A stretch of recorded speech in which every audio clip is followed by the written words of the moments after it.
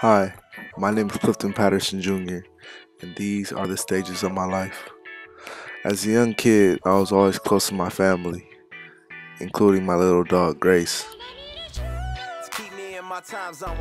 I'm proud to say that wherever we went, we would always have a great time, going to baseball games and hanging out at the pike, to taking some pictures at the beach.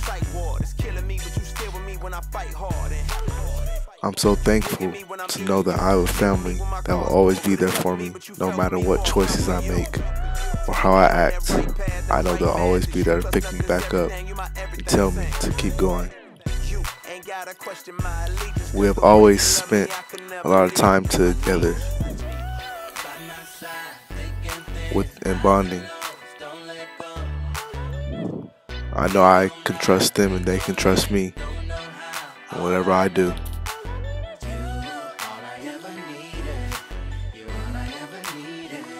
We are also very silly with each other. But at times we could be annoying, but it, it doesn't matter. We always find a way to come together and have a good time trying to keep it together. Forget my awkwardness, but um, often it's just you and me off in this valley of shadows, and I know they trying to pick me off in this, but all I need is you. I'm not only close to my immediate family, but I'm also very close to my extended. I can remember back when my family used to have these reunions with each other and get-togethers, and we, we would just have a great time.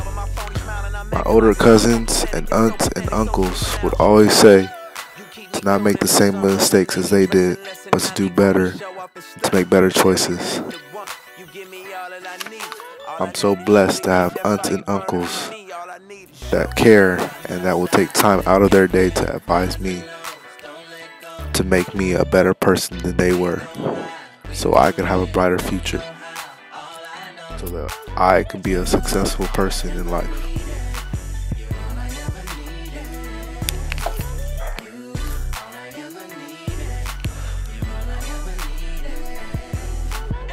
My mom and dad are by far the two most important people in my life.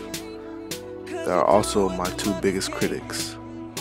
As hard as it can be to believe, sometimes I know that the reason why they critique me is so I can be the best that I can be and also have a great life and a great future. They have also taught me to respect all people, specifically my teachers, close friends, and older family that I can trust. But as hard as they might be on me sometimes, I know that they love me and that they only want the best for my future.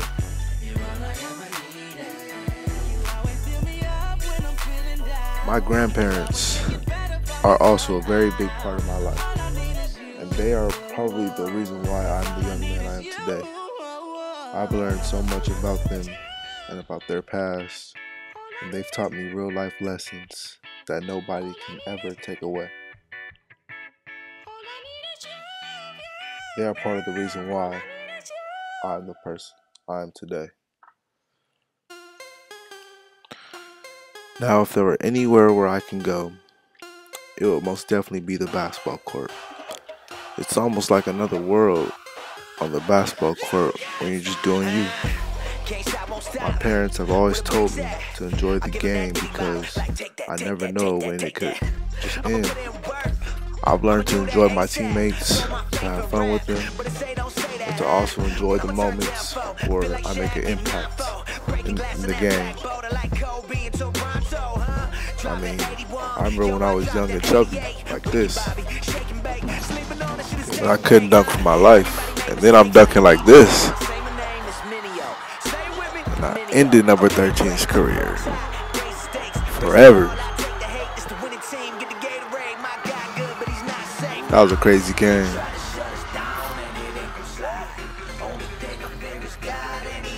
And in this game, I took it easy on him. It was still clean though. But when it comes down to it, basketball is only a game that entertains others. And at the end of the day, those fans and people that enjoy what I do won't be helping me with projects like this.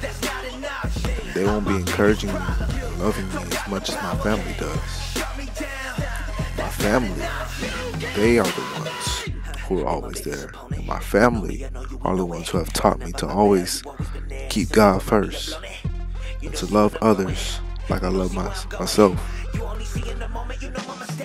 They were the ones who will stay with me throughout the stages of my life.